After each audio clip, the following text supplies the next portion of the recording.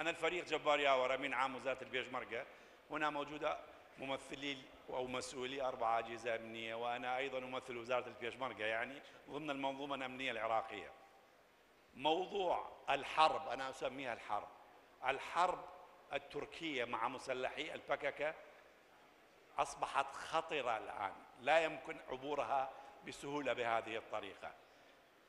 بس يعني سوف أوضح دقيقة وأسأل السؤال. لوزير الدفاع؟ نعم بس. أوضح, أوضح دقيقة. للجميع. للعلم وجود القوات التركية في العراق وأيضا الطائرات التركية هو بسبب مبررين.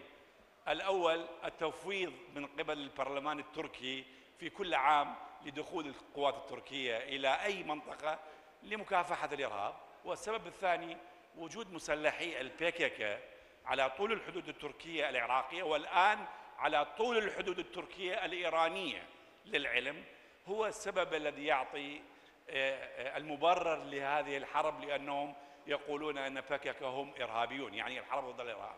فما هو السؤال؟ لعلمك لعلمك حتى أوضح. القوات التركية دخلت الأراضي العراقية حوالي بعمق أر- 45 كيلومتر وعلى طول 100 كيلومتر.